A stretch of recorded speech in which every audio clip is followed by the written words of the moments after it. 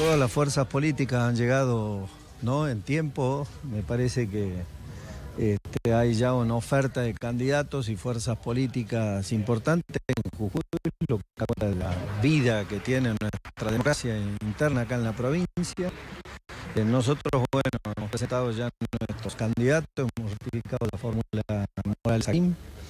hemos también presentado nuestras listas de candidatos en toda la provincia, intendentes, diputados, concejales. Ya hemos aprendido mucho de situaciones del pasado y, me parece que va a haber una campaña tranquila y creo que tiene que ser de propuestas, nosotros de rendir cuentas de lo que se ha hecho y de propuestas hacia el futuro y las fuerzas políticas también opositoras, creo que también todos se han preparado y han y están presentando sus programas y proyectos y yo creo que lo mejor que le va a hacer a la provincia es un debate de ideas, así que yo creo que por ahí va a ir. En relación a lo que dijo.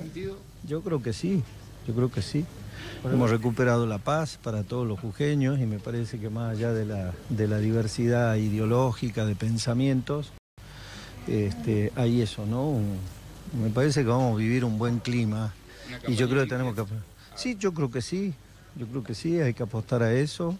Creo que los jujeños tenemos la oportunidad de, discutir sobre lo que queremos para, para Jujuy, pensar en la provincia.